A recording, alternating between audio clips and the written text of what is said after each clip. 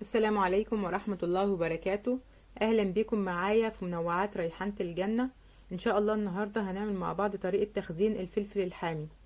أول حاجة أنا بجيب كمية من الفلفل الحامي أه بختارها تكون أه طازة ويكون مفيش فيها كسور زي ما إحنا شايفين كده لونها زاهي وجميلة.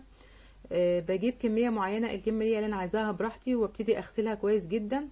واسيبه لحد ما ينشف وبعد كده بشيل العود بتاعه انضف الفلفل بتاعي كويس جدا من العود بتاعه. زي ما إحنا شايفين كده بكسرها بإيدي بتطلع بسهولة مش محتاجة سكينة ولا حاجة زي ما إحنا شايفين أهي. هنضف الكمية كلها.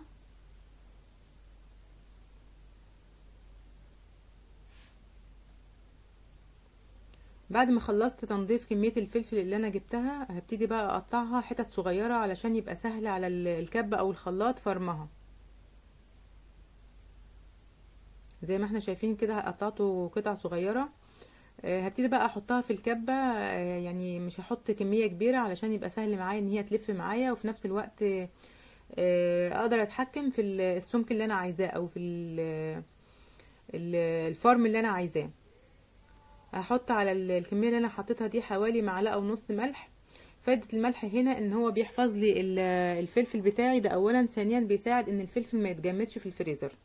عشان وقت ما أحب أطلع منه يبقى سهل معايا. آه زي ما إحنا شايفين كده أهو القوام بتاعه جميل.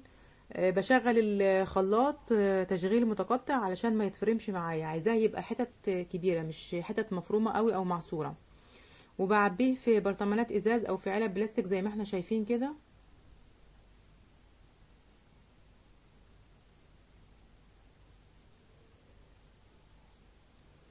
لو أنا عبيت الفلفل بتاعي في برطمانات إزاز بحاول مملاش البرطمان للآخر أسيب فيه مسافة كده علشان يعني ما يتكسرش في الفريزر.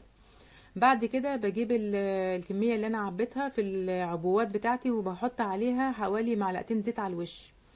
فايدة الزيت هنا إن هو بيحافظ على الوش ما يسودش أو لونه يغير بيمنع دخول الهواء للفلفل اللي أنا عملته. بعد كده بغطيه كويس جدا وبشيله في الفريزر بيقعد عندي بالسنة ما بيجرولوش أي حاجة بستخدمه.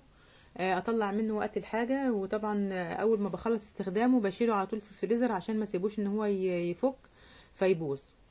واستخدامات الفلفل كتيرة جدا زي ما إحنا عارفين بستخدمه في تخليل الطماطم أو تخليل البتنجان سواء كان مقلي أو مسلوق.